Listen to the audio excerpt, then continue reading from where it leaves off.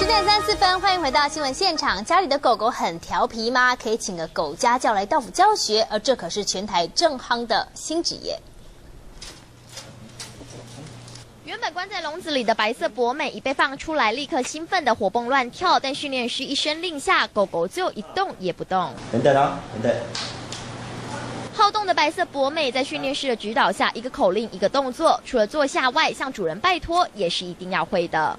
你来，拜托拜托，好，拜托拜托，好乖哦，拜托拜托。不过人有失手，马有乱蹄，就算是训练有素的狗狗，面对摄影机的拍摄，难免还是会突贼啦。就是没训练的话，它通常就是把自己当成老大，然后不会不会理我们的的命令这样。经过训练后就比较乖啊，就是。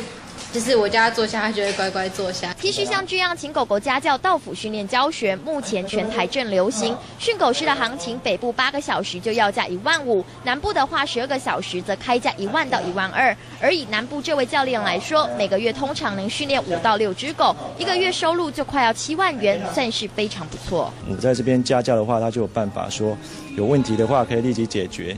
然后上课的时候也可以边学边上，比如说我去上课，你也可以学我怎么教的。比如说你有下次有再养一只新的狗，你也可以自己教。现代人对于爱犬很舍得花钱，不止小孩子要请家教，连狗狗训练都有家教，也让训狗师这个行业正夯。中天新闻南部综合报道。